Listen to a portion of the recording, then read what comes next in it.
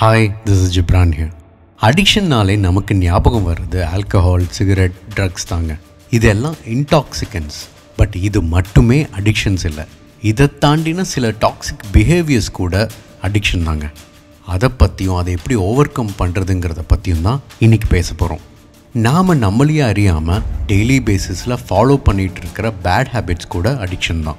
எப்போ பார்த்தாலும் யாரையாவது குறை சொல்லிக்கிட்டே இருக்கிறது அளவுக்கு அதிகமாக தூங்குறது அளவுக்கு அதிகமாக பொய் சொல்கிறது கண்ணு முன்னு தெரியாமல் கோவப்படுறது எல்லா விஷயத்தையும் போஸ்ட்போன் பண்ணிக்கிட்டே இருக்கிறது. இப்படி இது எல்லாமே ஒரு வகையில் அடிக்ஷன் தாங்க.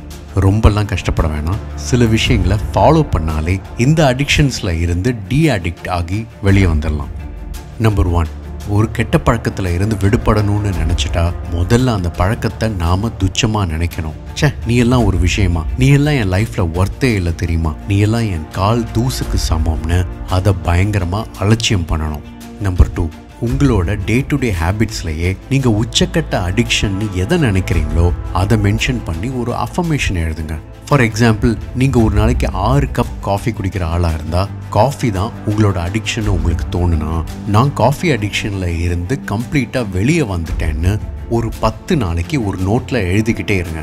ஏன்னா எந்த ஒரு அடிக்ஷனை எடுத்துக்கிட்டாலும் அதில் இருந்து முழுசாக வெளியே வந்துட்டேன்னு உங்கள் சப்கான்ஷியஸ் மைண்டுக்குள்ளே மேனிஃபெஸ்ட் பண்ணுறது தான் இருக்கிறதுலே முக்கியமான ஸ்டெப் நம்பர் த்ரீ அடுத்ததாக எதை உங்கள் அடிக்ஷன்னு நினைக்கிறீங்களோ அதை பற்றின தாட்ஸை உங்கள் மைண்டில் சுத்தமாக ஜென்ரேட் பண்ணாதீங்க. ஃபார் எக்ஸாம்பிள் டயபெட்டிஸ் பேஷண்ட்ஸ்லாம் ஸ்வீட் சாப்பிட்றத நிறுத்தணும்னு சொன்னதுக்கப்புறம் தான் அடிக்கடி சாப்பிட ஆரம்பிப்பாங்க.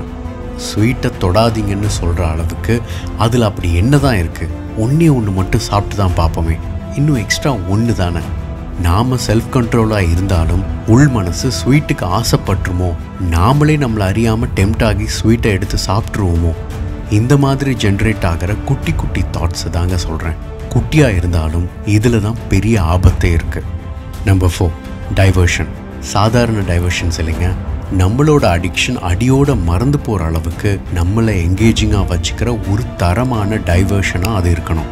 Number five last but not the least அந்த விஷயத்தில் இருந்து வெளியில் வரணும்னு முழு மனசோட எஃபர்ட்ஸ் போடணும்.